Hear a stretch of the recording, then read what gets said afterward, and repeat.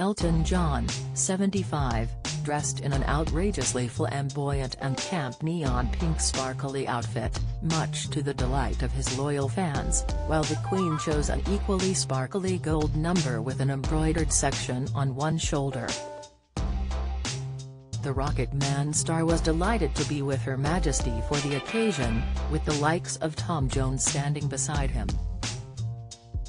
Besides that memorable tribute concert, and his pre-recorded Platinum Jubilee performance, Elton also met the royals when he attended Prince Andrew's 21st birthday party back in 1981.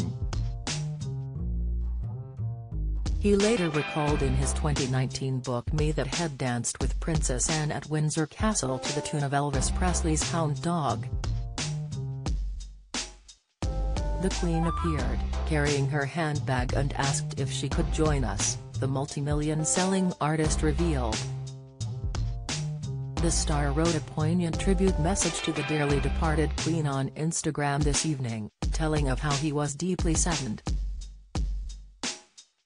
She was an inspiring presence to be around, and lead the country through some of our greatest, and darkest, moments with grace, decency and a genuine caring warmth he wrote.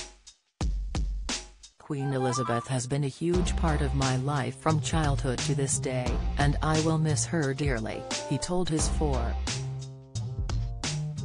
1 million followers.